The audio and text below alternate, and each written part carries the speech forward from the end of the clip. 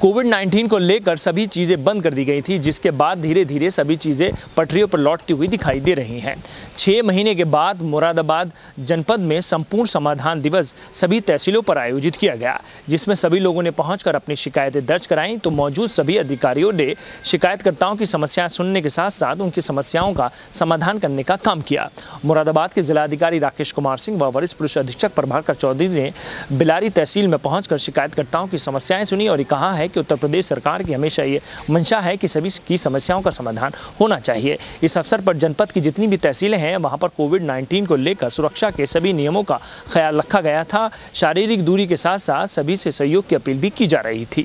उत्तर प्रदेश शासन से प्राप्त निर्देशों के अनुसार तहसील समाधान दिवसों का आयोजन मुरादाबाद जनपद में 15 सितंबर से अब पुनः शुरू हो गया है, जिसमें आज संपूर्ण समाधान दिवस में कोविड 19 की गाइडलाइन के अनुसार संपूर्ण समाधान दिवस का आयोजन किया गया और फरियादियों की समस्याएँ सुनी गई जनपद मुरादाबाद की सभी तहसीलों पर संपूर्ण समाधान दिवस आयोजित किया गया। मुरादाबाद के जिलाधिकारी राकेश कुमार सिंह व वरिष्ठ पुलिस अधीक्षक प्रभाकर चौधरी ने जनपद बिलारी तहसील पहुँच संपूर्ण समाधान दिवस में भाग लिया और सभी शिकायतकर्ताओं की शिकायत सुनने के साथ प्रत्येक व्यक्ति की समस्या का समाधान करने की बात कही गई। इस अवसर पर जनपद मुरादाबाद के बिलारी तहसील में कोविड 19 के मद्देनजर सुरक्षा के सभी इंतज़ाम किए गए थे। प्रत्येक शिकायतकर्ता को शारीरिक दूरी बनाने के साथ सहयोग की अपील भी की जा रही थी। सभी लोग एक दूसरे से दूरी बनाए हुए खड़े हुए थे और अपनी बारी का इंतज़ार करते हुए दिखाई दे रहे थे। अधिकारियों द्वारा प्रत्येक व्यक्ति की शिकायत बड़ी गंभीरता के साथ सुनी गई और उन्हें ये विश्वास दिलाया गया कि आपकी समस्या का समाधान किया जाएगा। उत्तर प्रदेश सरकार ने कोविड 19 के मद्देनजर हर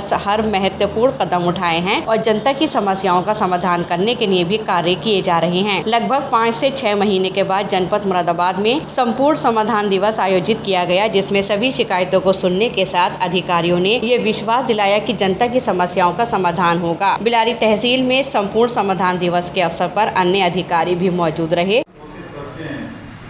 उनका चिन्हीकरण है बाल विकास विभाग के द्वारा उनका चिन्हीकरण किया जा रहा है और दूसरा जो है, इसमें जो इनकी एक्टिविटी है, वो आंगनबाड़ी जो है, हर घर लोगों के जा करके माताओं को जो है, वो स्तनपान के लिए प्रोत्साहित कर रही हैं कि बच्चा पैदा होने के छः माह तक केवल स्तनपान माँ का दूध सर्वोत्तम आहार इस स्लोगन के साथ ये लोग गाँव में घर घर जाकर के इसको प्रोत्साहित कर रही हैं। और तीसरा जो है, पोषण वाटिका लगाने के लिए प्रोत्साहित करना। जिसमें कि अगर किसी के घर के सामने छोटी सी जगह है पीछे आँगन पौध या कहीं भी सहजन का एक पौधा जो है रोपित करें क्योंकि सहजन अच्छा चलिए ज़्यादा प्रोटीन होता है। तो ताकि फ्यूचर में वो प्रोटीन की कोई कमी जो है तो वहीं मुरादाबाद सदर तहसील में भी संपूर्ण समाधान दिवस के अवसर पर अपर जिला अधिकारी प्रशासन लक्ष्मी शंकर सिंह के साथ अन्य अधिकारियों ने सभी शिकायतकर्ताओं की समस्याएँ बड़े ध्यान पूर्वक सुनी और ये विश्वास दिलाया कि शासन और प्रशासन का हमेशा ही प्रयास है कि आपकी समस्याओं का समाधान हो। इस अवसर पर सुरक्षा की दृष्टि से सभी इंतज़ाम किए गए थे। सभी शिकायतकर्ता एक दूसरे से शारीरिक दूरी बनाए हुए खड़े हुए थे और अपनी बारी का इंतज़ार करते हुए दिखाई दे रहे थे। प्रशासनिक अधिकारियों का कहना है की काफ़ी समय के बाद दोबारा संपूर्ण समाधान दिवस आयोजित किया गया है और सभी बातों को ध्यान में रखकर सभी की शिकायतें सुनी जा रही हैं और संबंधित अधिकारियों को निर्देश दिए जा रहे हैं कि शिकायत एक से दो दिन के अंदर ही संपन्न करा ली जाए, जिससे तहसील में आने वाले सभी शिकायतकर्ताओं की समस्याओं का समाधान किया जाए।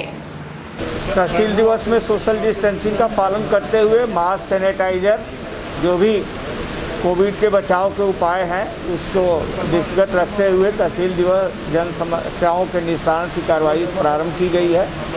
और आज का दिन भी बहुत अच्छा है। अभी तक गर्मी से लोग बेहाल हो रहे थे, पानी नहीं बरस रहा था, पानी की अति आवश्यकता थी।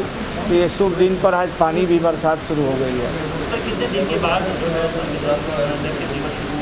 तहसील दिवस जनो मार्च में मार्च में 15 मार्च को या 16 मार्च को हुआ था लास्ट उसके बाद आज फ़र्स्ट सितंबर से शुरू हुआ था, क्योंकि फ़र्स्ट सितंबर को ऑर्गेनाइज नहीं हो पाया कतिपय कारणों से।